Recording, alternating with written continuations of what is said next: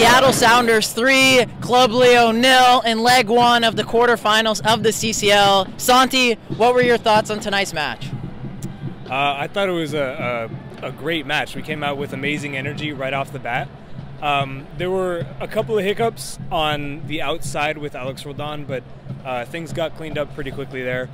Um, I think in, individually, every player played very well, and as a team, we played even better. Uh, I predicted, I think it was two one, so I was more even. You more were close, pleased. but I was yeah. even more pleased with 3-0. So, uh, yeah, it was just a great match. It was fun to watch. Yeah. Who, who was your man in the match tonight?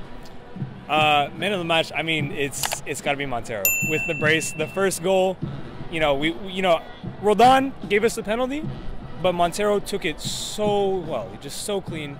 Uh, and then the second goal was just uh, a striker's finish. So it's the dream. Yeah. Yeah. And then what are you hoping for going into leg two? You know, as you said, you're predicting two to one. We got three 0 You got even more tonight than you were asking for. What are you hoping for in leg two against Leon? They won't have any fans. Now they're they're up for the taking. What what kind of team do you want to see? What kind of performance do you want to see in leg two?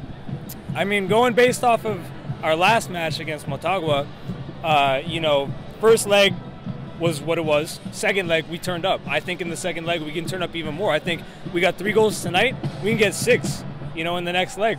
I'm saying, you know, I, I think we should have gone maybe six tonight. To tonight. Tonight would have been nice. Six Yeah. tonight would have been nice. But no, I think next week it'll it'll be the same score or better. I think we can we can really turn up.